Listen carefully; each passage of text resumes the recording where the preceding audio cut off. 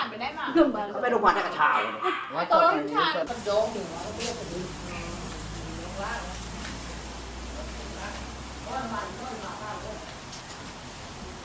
ใส่มาใส่ถุงมือนะ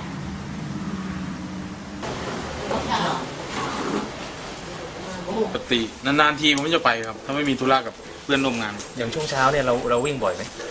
คนละกว้างห้องฉุกเฉินเขาอยู่กลางนี่เราบางทีเรื่องกันเลย ไปของเราไปทำ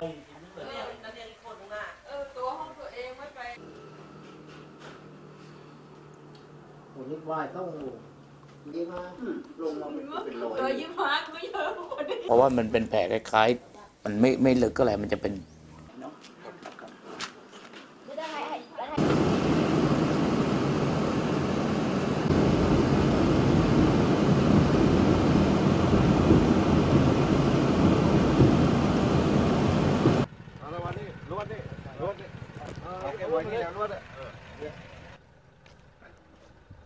เสาใช่ไหมใช่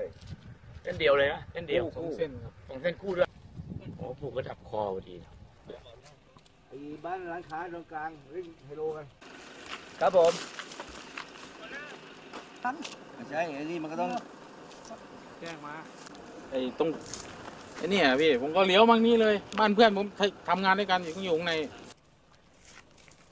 ไม่มันพูกไปนั่นเนี่ยมันอ้อม มันพูกเราถ้าอ้อมเศร้าไปอะใครนี่พอใครได้ป่ะเนี่ย ฮะได้ไหมได้ไหมสูงขนาดไม่เยอะไงแต่เนี้ยมันไม่แล้วมันเป็นทางลัดออกเลย เป็นทางลัดมัยันงไง มันมันเป็นทางลัดไปตู้หมู่อื่นได้ไงไอ้ที่เราว่าลบเนี่ยจะไปหนองทรายครับใช้เส้นทางนี้ประจำไหม ก็เพิ่งเปิดงานก็ว่าจะไปพร้อมกับเพื่อนนะครับ เพื่อนนี่บ้านเพื่อนอยู่ตรงไหน บ้านข้างในนี่ครับ อ๋อ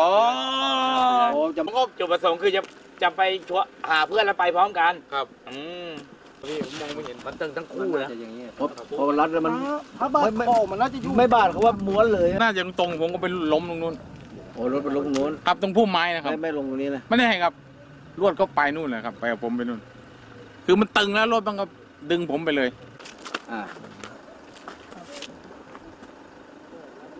อ่านนะไม่ได้ง่ายนะคือ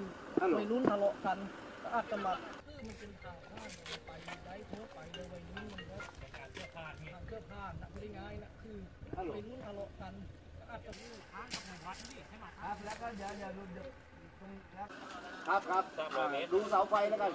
เดี๋ยวตามกันล้มปุ๊บมันต้องเอารถเลยก็รู้อยู่แล้วว่ายังไงยังไงมันก็ต้องล้มอะทางหมู่บ้านทั้งนี้นะครับ ได้ยินโอเดียวอบตที่บ้านเมื่อเช้ามีใครอยู่ผม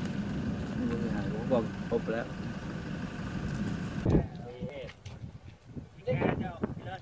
คือมันไม่ไม่เคยเกิดเหตุไงเราก็ไม่รู้ว่ามันจะมีเกิดแล้วก็เรานั่งมอเตอร์ไซค์ถูกไหมครับมันโดนระดับคอพอดีเข้าพอเลยครับมาจากทางโน้นทางนี้ครับ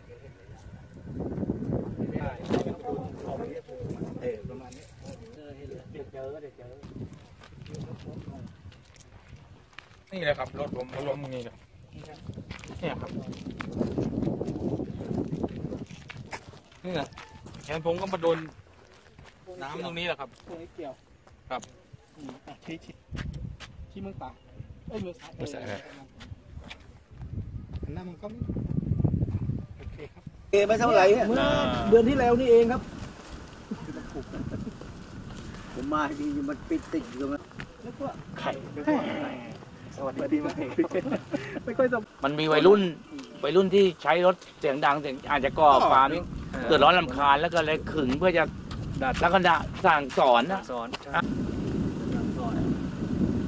เออคนที่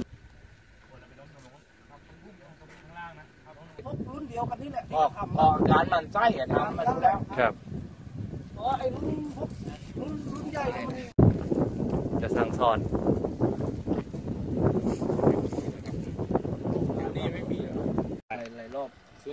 นย์ศูนย์หกหนึ่งครับศูนย์หกหนึ่งหกห้าแต่เจ็ดช่วงหลังก็ไม่กี่วันเนี่ยมันมีปัญหากับศูนย์หนึ่งไอ้เด็กฝั่งโน้นหนึ่งปัญศูนย์หาเรื่องยานี่แหละเฉลิมไทยเนาะอืมอ่านี่เบอร์สวัสดนกิจไอ้ไอ้เนี่ยไอ้ไอ้ไอ้โน้นไอ้ไอ้เถศูนย์หกหนึ่งหกห้าเจ็ดหนึ่งศูนย์หนึ่งหกนะโอเคไอ้เถนก็เฉลิมชัยนะผมกลัวจะ